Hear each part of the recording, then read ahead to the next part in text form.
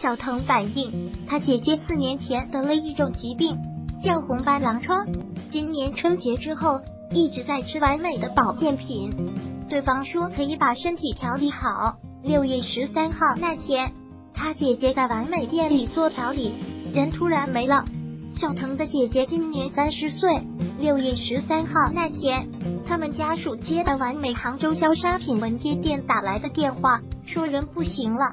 小腾的姐姐四年前得了系统性红斑狼疮，这是一种自身免疫性疾病，表现为发热、皮疹、血液系统受累、肾脏损害等。按小腾说，他姐姐前些年都按时就医，病情一直得到控制。今年春节之后，开始频繁到品文街上的这家完美门店，拿回家的就是成箱成箱的保健品。姐姐出现口腔溃疡。小腾认为是病情加重的表现。小腾说，五月份他姐姐口腔里开始出现溃疡，这其实是病情加重的表现。小腾提供的聊天记录说，是完美店里的一个人跟他姐姐说，这些都是正常的反应，支柱都在完美。第三天出了事，小腾第一个他们一直误导我姐是这个完美的产品。把我姐的病情耽误了。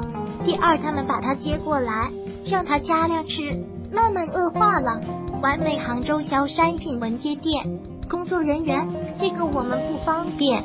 一切的调查结果就是等调查结果，这个没关系的，就是等调查结果。吃住都在你们店里。这位工作人员后来说去联系下店主，直接上了楼。之后就一直没有下来。